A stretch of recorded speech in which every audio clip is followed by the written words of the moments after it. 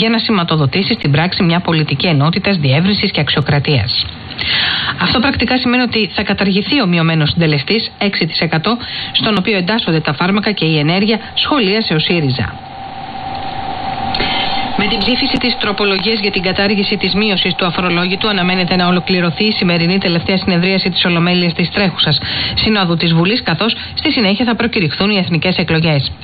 Η κατάργηση της διάταξης για τη μείωση του αφορολόγητου δεν επηρεάζει τα μέτρα στήριξης που ήδη εφαρμόζονται, ούτε αλλάζει κάτι σε σχέση με τις πρόσφατες εξαγγελίες του Πρωθυπουργού για περαιτέρω μέτρα ελάφρυνσης το 2020, σχολίασαν κυβερνητικές πηγές.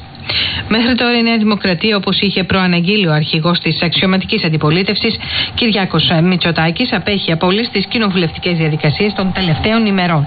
Το Κινάλ, το ΚΚΕ και η Χρυσή Αυγή παρίστανται στην έναρξη συνεδριάσεων, καταγγέλνουν τη διαδικασία και στη συνέχεια αποχωρούν. Το ποτάμι συμμετέχει σε όλες τις διαδικασίες της Βουλής.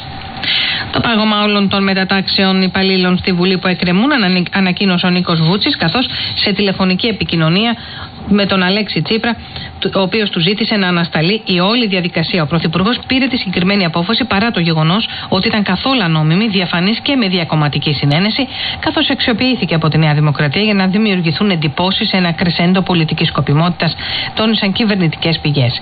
Για όργιο πολιτικών ορσφιατιών έκανε λόγο η αντιπολίτευση. Ξεκινά από σήμερα η διαδικασία υποβολής αιτήσεων για δωρεάν φιλοξενία των, παιδικών, των παιδιών σε ιδιωτικούς και δημοτικούς βρεφονιπιακούς σταθμούς στη νέα σχολική χρονιά. Στις 9 έξω από τη Βουλή, νέα συγκέντρωση της ΠΟΕΔΗΝ και καθαριστριών του δρομοκαίτιου νοσοκομείου. 21 μαχητές των δυνάμεων του Άσαντ και 14 τζιχαντιστές νεκροί σε σφοδρές μάχες στη Χάμα στη βορειοδυτική Συρία, όπου οι κυβερνητικές δυνάμεις συνεχίζουν τους φωνικούς βομβαρδισμούς τους. Ο